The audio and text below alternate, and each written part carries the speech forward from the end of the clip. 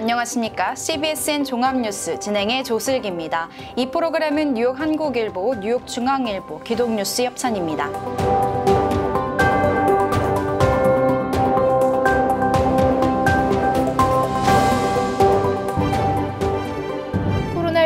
팬데믹 기간 뉴욕주를 떠나 타주로 이주하는 탈 뉴욕 현상이 가속화된 것으로 나타났습니다. 플로리다주 고속도로 안전국이 최근 발표한 자료에 따르면 올 들어 4개월간 뉴욕주 운전면허증을 소지했던 2만 1,546명이 거주지 이주 등을 이유로 플로리다주 운전면허증으로 교체한 것으로 집계됐습니다. 이는 지난해 같은 기간과 비교해 12% 증가한 수치입니다. 특히 팬데믹 이전인 2019년의 같은 기간과 비교하면 무려 55%나 늘어난 것입니다. 운전면허가 없거나 취득 연령이 안 되는 미성년 가족까지 포함할 경우 플로리다로 이주한 뉴욕 주민은 이보다 훨씬 더 많을 것이란 분석입니다. 에릭 아담스 뉴욕시장은 코로나19 방역을 위해 봉쇄됐던 도시를 다시 풀게 되면 뉴욕을 떠났던 주민들이 돌아올 것으로 기대했으나 실상은 탈 뉴욕 현상이 심화됐다는 게 전문가들의 지적입니다. 이와 관련 뉴욕의 경우 팬데믹 문제보다는 살인적인 물가와 범죄율 상승 등 삶의 질 하락이 더 큰 문제가 되고 있기 때문이란 분석이 잇따르고 있습니다.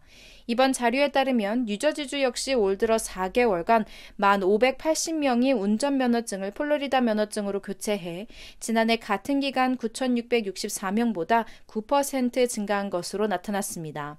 커네디컷 주도 4,119명으로 전년 3,950명보다 4% 늘었습니다.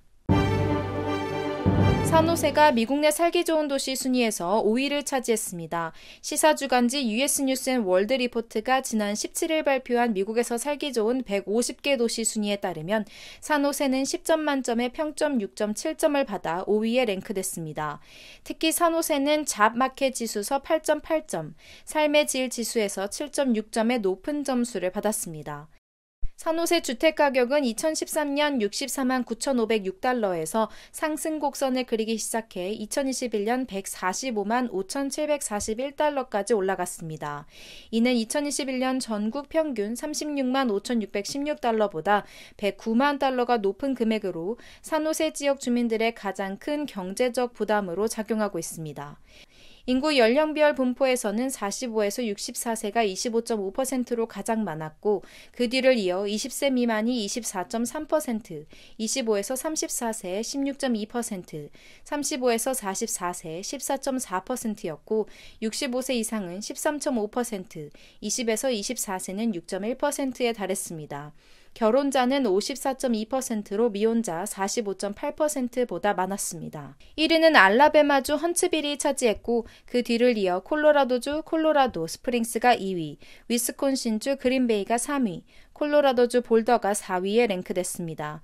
샌디에고는 107위, 뉴욕시 122, 세크라멘토 122위, LA 128위, 산타로자 132위, 라스베거스 139위, 프레즈노 141위, 발레호 and 페어필드 142위, 살리나스 144위, 스탁턴 149위를 기록했습니다.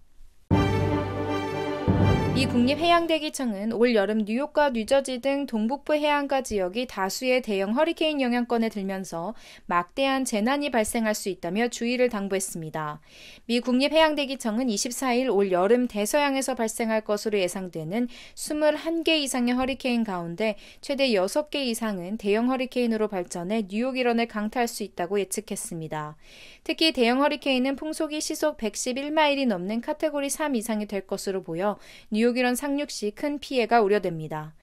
10년 전 뉴욕시의 대형 재난을 안긴 허리케인 샌디는 카테고리 3이었고 지난해 뉴욕과 뉴저지에 막대한 홍수 피해를 끼친 허리케인 아이다는 카테고리 4로 풍속이 시속 130마일 이상이었습니다. 뉴욕시 해수욕장들이 Memorial Day 연휴가 시작되는 28일부터 일제히 개장합니다.